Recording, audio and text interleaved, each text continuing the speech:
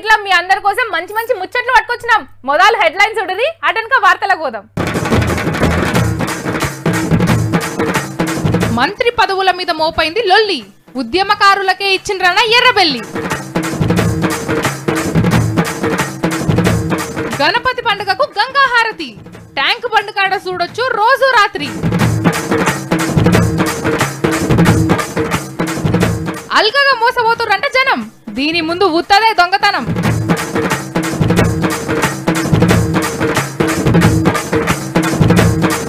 ముప్పై ఏండ్ల సంధి మూడు జాబులు.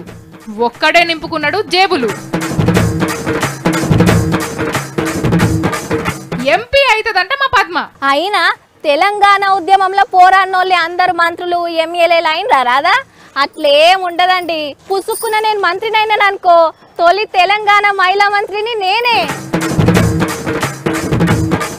షానికొచ్చిన చంద్రవ్వ. ఇగో రాదా నన్ను చూస్తే నీకు ఏమని విలువాలనో అర్థమైతలేదా? ఇగో ఇయ్యాలటి నుండి చందు అని విలువ రాదా నన్ను. తెలంగాణలో సీఎం కాకుండా పదహారు మంది మంత్రులు ఉండొచ్చు అయితే ఇప్పుడు పది మందే ఉన్నారు. అంటే ఇంకొక ఆరుగురిని తీసుకోవచ్చు.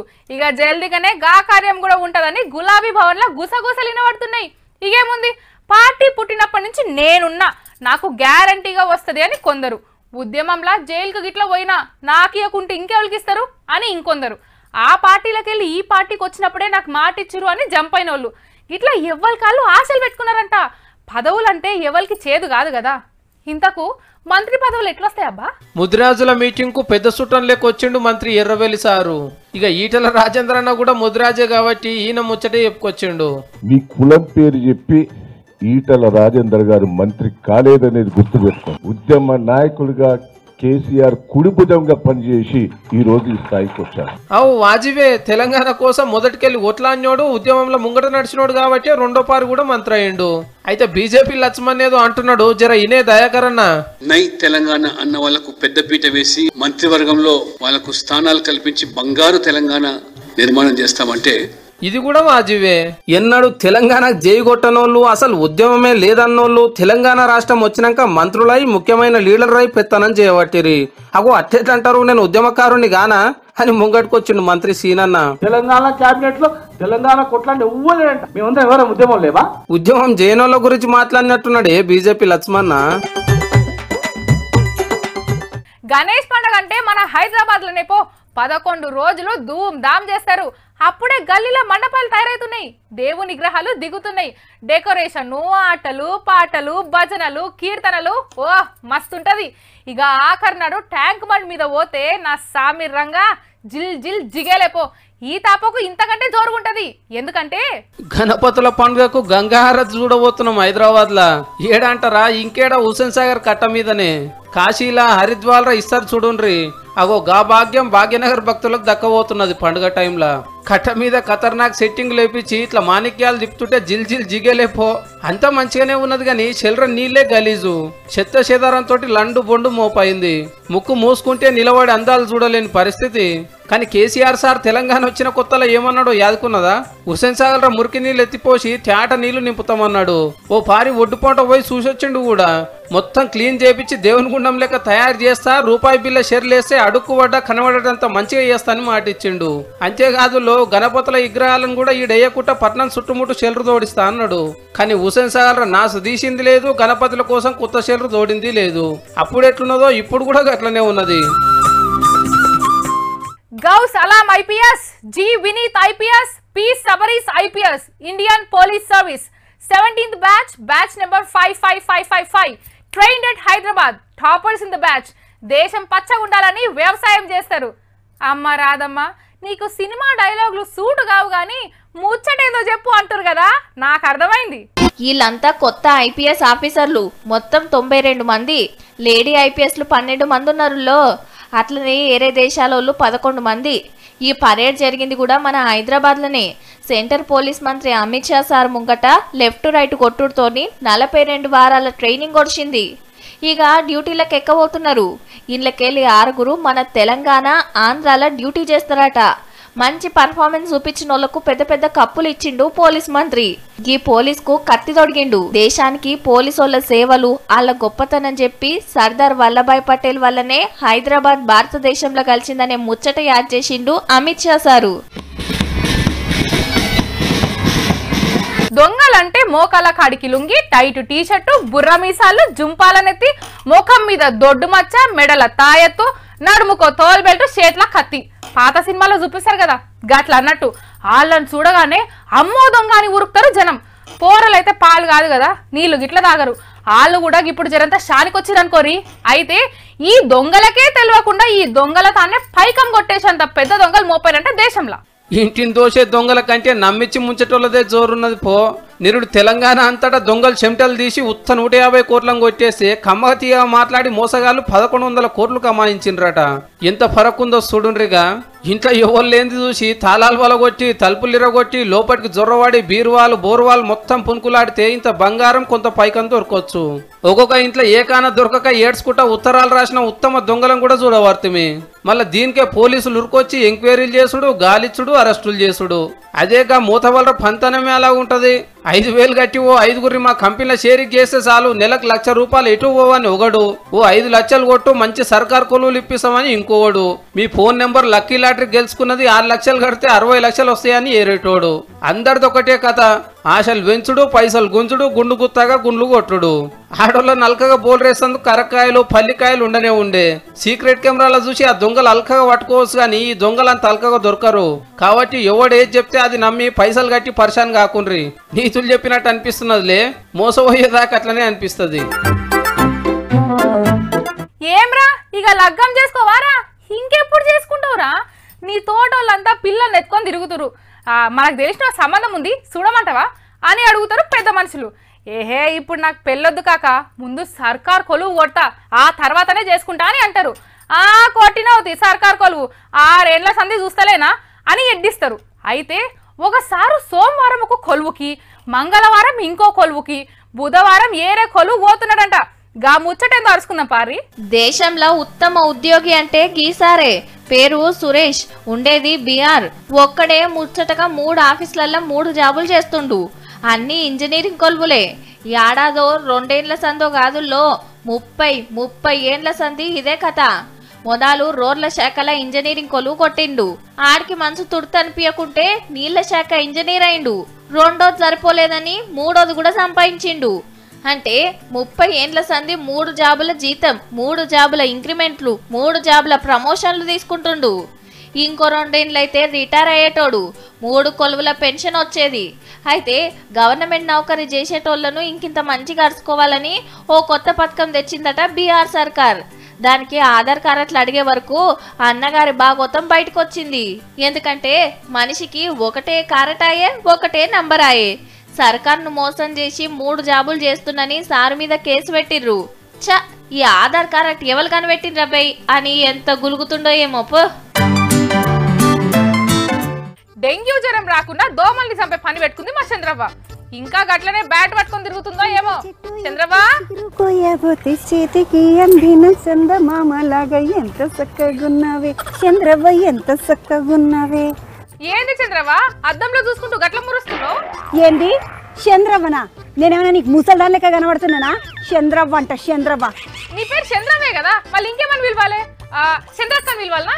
అక్కనా? నేను నీకన్నా పెద్దదాని లెక్క కనబడుతున్నానా? లేకపోతే నువ్వేమైనా మా పాలోళ్ళ పిల్లవా? నెత్తికి సమర్ పెట్టి సాధిన వాళ్ళు కూడా ఇట్లా మాట్లాడరు. చంద్రవ్వ అనొద్దు అక్క అని అనొద్దు. మళ్ళీ ఇంకేమని పిలవాలి? ఆంటీ అని పిలవాలనా? ఆగానే నీకేమైనా నేను నలభై ఏళ్ళ దాని లెక్క కనబడుతున్నాను. అయినా మీ పట్నపోలకు ఎవరిని చూసినా ఆంటీ అని పిలిచాడు బాగా అలవాటైంది అమ్మ. నువ్వు పద్మ మేనత్తది కదా నేను గిట్ల అత్త అని పిలవాలనా? అత్తనా? నువ్వు నా అన్న బిడ్డవా తమ్ముని బిడ్డవా చుట్టానివా పక్కనివా? ఏమమ్మో వరుసలు కలుపుతున్నావు బాగా. పేరు పెట్టి విలువద్దంటావు అక్క అంటే తిడతావు ఆంటీ అంటే అలుగుతావు. మళ్ళీ ఇంకేమని పిలవాలి? అంటే ఏమని విలువాలో కూడా నేనే చెప్పాలనా? నీకేం ఎరకలేదా? చిన్న పిల్లవా బుడ్డ పిల్లవా నువ్వేమన్నా? ఏహే ఎట్లా పిలిచినా నువ్వు తిట్టేటట్టే ఉన్నావు. మాట్లాడకుండా ఉంటావు ఊకుంటావా అంటే ఊరోళ్ళకు మాట్లాడనీకే రాదు. పట్ల పోళ్ళకే వస్తుంది ఊరోళ్ళు మస్తు అద్దెకారులు కయ్యాల కచ్చలు అంటున్నావు. లే నువ్వు. అట్లా కాదమ్మా. నేను ఇప్పుడు అట్లా అన్నానా? అమ్మనా? అమ్మేంది? అమ్మ అంటున్నావు. గట్ల కనిపిస్తున్నానా నీకు నేను? ఇగో రాదా నన్ను చూస్తే నీకు ఏమని విలువాలనో అర్థమైతలేదా? ఏంది గట్ల సిగ్గుపడుతున్నావు? నిన్ను చూస్తే నాకేం అనిపిస్తలేదు ఇగో ఇయ్యాలటి నుండి చందు అని విలువ రాదా నన్ను? ఏంది? చంద్రవని చందు అని పిలవాలనా ఏమైంది నీకు? అంటే పిలవవా చందు అని పిలిస్తే నీకేమైతుంది? చంద్రవ్వ అంటే నాకెట్లనో ఉన్నది. వామ్మో వామ్మో. పట్నంకి వచ్చి నాలుగు వద్దులు కాలే ఎంత షానికి వచ్చినావు చంద్రవ్వ? అంటే అంటే ఎప్పుడు షానిగా ఉండద్దా ఎప్పుడు ఉల్లున్నట్టే ఉండాలనా? ఏంది? అబ్బో! పట్నం నీళ్ళు బాగానే పడ్డట్టున్నాయిగా చందు అంట చందు. మీ పద్మకు తెలిస్తే ఏమంటదో పరి చూసుకో.